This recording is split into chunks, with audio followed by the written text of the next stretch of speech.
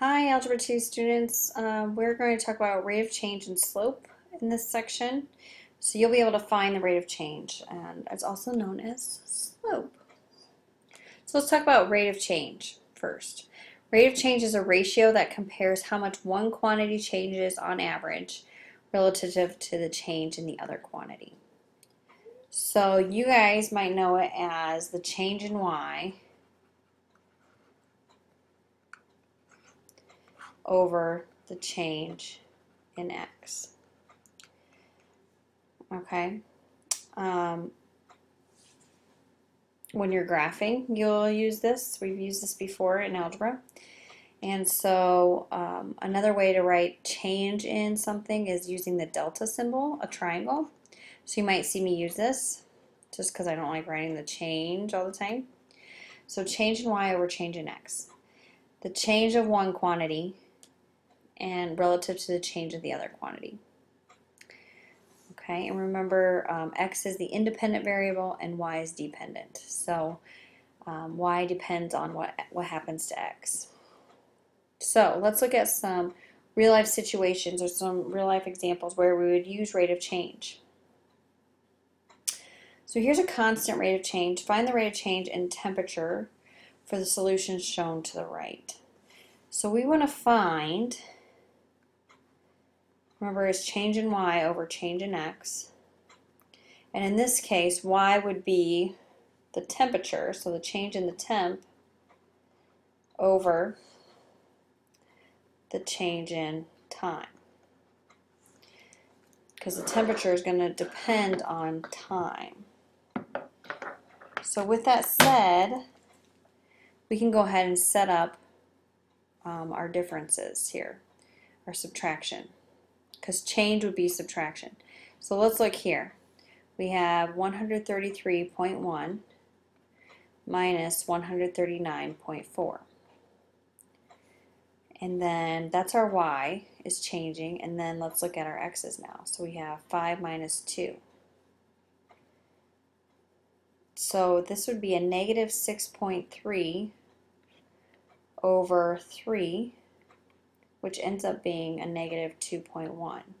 So what does that mean? It means the rate of change or um, the temperature is decreasing,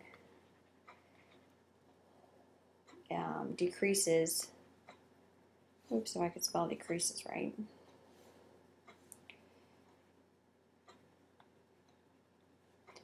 Decreases by 2.1 degrees Celsius each minute. So that's what's happening here. And this would be constant rate of change because it's happening each time. Now there's another rate of change called the average rate of change. So we want to find the average rate of change of percent of total music sales for both CDs and downloads from 2001 to 2008. So we're looking at the change in percent over the change in time. So let's do the CDs first. So this is on average over the whole span between 2001 to 2008. So the change in percent is going to be 77.8 minus 89.2 from 2008 to 2001. And then, so we're going to keep it in that order. So when we do that, we end up with a negative, I'll write it down here, a negative 11.4 over 7, which is a negative 1.63. So how can we say that? What does that mean? Well, it's a decline in sales, um, a decline, the average decline of 1.63% um, per year. I guess I should say average decline per year. So why don't you pause the video and go ahead and do the download. See what the average rate of change is for the downloads. So this was for the CDs. Go ahead and do the downloads. So this is what I got for the downloads, 1.8%, and that will be an increase. So it'll be an average increase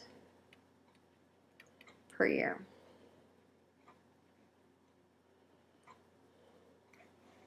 So that's how you'd find the average. You take the lowest to the highest, or highest to the lowest. Make sure it's the same on top and bottom, however you want to do it. All right. So now what you're going to do is I want you to find the slope formula. What is it? Maybe you remember what it is. Maybe you don't. Maybe you need to find it. Um, and then I want you to use that to find the slope that passes through negative 4 comma 3 and 2 comma 5. So this is a visual representation of the rate of change with a linear um, or with a line or linear equation. And then if you get a chance, check out Slope Dude. I posted the video on there. Um, he talks about the different types of slope you will see when you're graphing lines. All right, that's all I have for you.